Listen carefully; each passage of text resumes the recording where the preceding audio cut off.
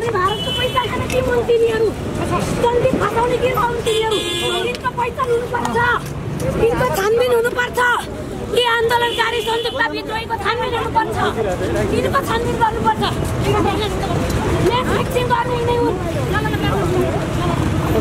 Match fixing गर्ने हुन्। को कुरा पनि हुन्छ कि? कमन सेन्सको कुरा आउँछ यो देशमा चाहिँ होइन यो देशमा चाहिँ रेप भिक्टिम चाहिँ घरमा बसेर रोएर घरमा समाजमा निस्किँदाखेरि पनि मलाई के भन्लान् भनिराखेको अवस्थामा एउटा बलात्कारी चाहिँ राष्ट्रिय टिमबाट क्रिकेट खेल्न जाँदैछ भन्ने कुराले कस्तो म्यासेज दिन्छ? एउटा जो बलात्कारी जो बलात्कारको आरोप खेपिराखेको छ होइन उसलाई चाहिँ होइन उसले चाहिँ देशमा उसले चाहिँ हाम्रो देशको नाम चाहिँ कहाँ लगेर कुन यिनको छानबिन हुनै पर्छ पानी पानी दिनु न पानी उसलाई दोषी भनेको छैन तर आरोपित हो उसलाई निर्दोष खेल्नै नपाउने त अब। होइन खेल्न नपाउने भन्दा ऊ कसरी स्वागत भयो भन्ने कुरा हो कि होइन? के के हुन्थ्यो नखेल्दाखेरि? केही समय ऊ आरोपित हो होइन? जबसम्म जबसम्म क्लियर हुँदैनन् मलाई चाहिँ मैले जबसम्म अदालतबाट क्लियर चिट पाउँदिनँ तबसम्म चाहिँ म अदालतलाई सहयोग गर्छु म पीडितलाई सहयोग गर्छु म खेल्दिनँ नि त म पीडितलाई होस्टेल बनाउँदिनँ नि त भन्दा के हुन्थ्यो पनि फोटो खिचाउनु जो पनि बसेर कफी खान चाहन्छ। त्यो भनेको उसले उसलाई चाहिँ जे पनि गर्ने अधिकार पायो भन्ने होइन नि त। उहाँले एउटा फ्यानको हिसाबमा जानुभएको थियो। उहाँले एकदमै चाहिँ एकदमै एउटा सेलिब्रेटीसँग एउटा सेलिब्रेटीसँग कलेज स्कुलमा पढ्ने कलेजमा पढ्ने केटी किन कफीमा कफीमा जान्छ भने ऊ चाहिँ उसको त्यो जुन ऊ सेलिब्रेटी हो होइन उसको स्टार्डम देखेर गएको हो नि त। तपाईँहरूको माग चाहिँ फेरि सन्दीपलाई थुन्नुपर्छ भन्ने हो कि के हो?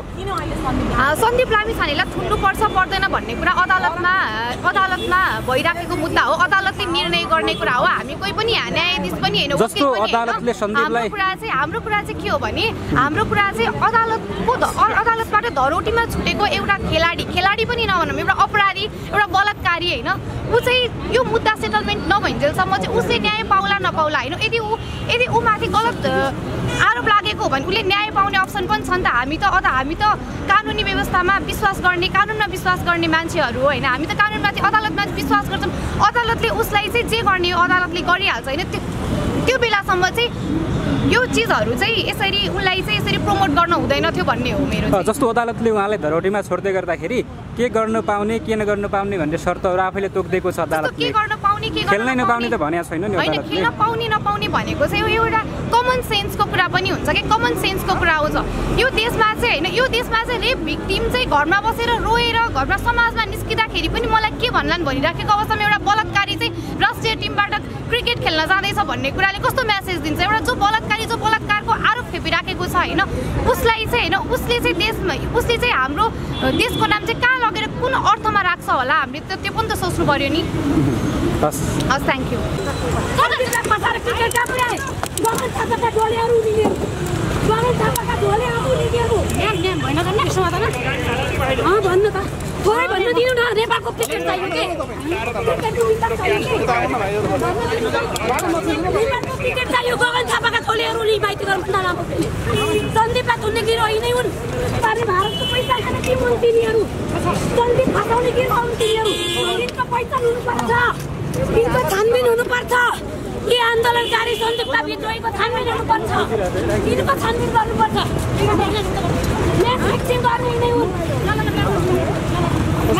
म्याच फिक्सिङ गर्ने यी हुन् यिनको छानबिन हुनै पर्छ पानी पानी दिनु न पानी सन्दीपलाई फसाउने केटी भिडाउने कि उसलाई छानबिन गर्नुहोस् क्यामेराले छानबिन गर्नुहोस् गगन थापाका काङ्ग्रेसका आर्जुका पारस खड्काका टिम उसलाई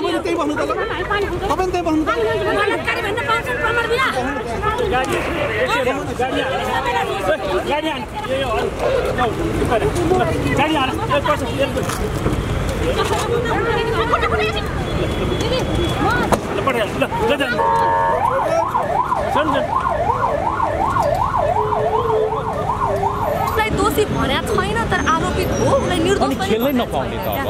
होइन खेल्न नपाउने भन्दा ऊ कसरी स्वागत भयो भन्ने कुरा हो कि होइन के किन हुन्थ्यो नखेल्दाखेरि? केही समय ऊ आरोपित हो। होइन जबसम्म मसँग मलाई लागेका आरोपहरू जबसम्म क्लियर हुँदैनन् मलाई चाहिँ मैले जबसम्म अदालतबाट क्लियर चिट पाउँदिनँ तबसम्म चाहिँ म अदालतलाई सहयोग गर्छु म पीडितलाई सहयोग गर्छु म खेल्दिनँ नि त म पीडितलाई होस्टाइल बनाउँदिनँ नि त भन्दा के हुन्थ्यो?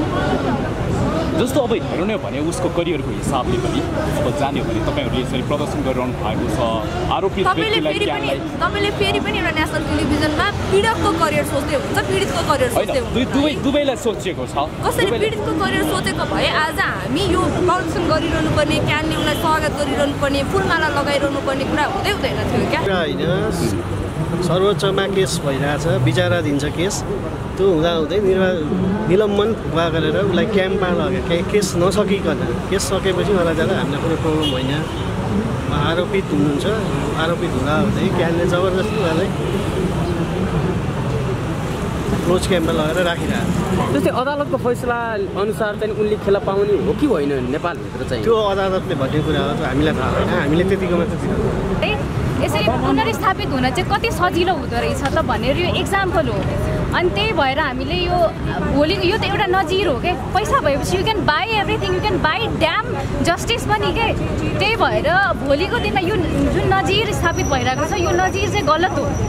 यो समाजले अब हामी यो समाजमा कस्तो नजिर स्थापना भइरहेछ भनेर हाम्रो चाहिँ यही प्रोटेस्ट गर्नको लागि चाहिँ यसको अगेन्स्टमा प्रोटेस्ट गर्न आज हामी यहाँसम्म भइरहेछौँ। सन्दीप लामिछानेले खेलमा सहभागी नहुन् भन्ने अफकोर्स न अब सर्वोच्चमा अहिले हिजोको समाचार अनुसार फाइल गएको छ अब के अरे सहमहाधिवक्ताले चाहिँ फाइल लगेर जानुभएको छ। अब त्यसपछि त्यो अब हेरौँ सर्वोच्चले कसरी फैसला गर्छ।